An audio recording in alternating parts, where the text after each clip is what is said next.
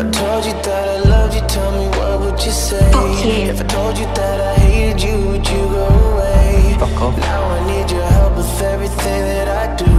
I don't wanna lie. I was never I've protector.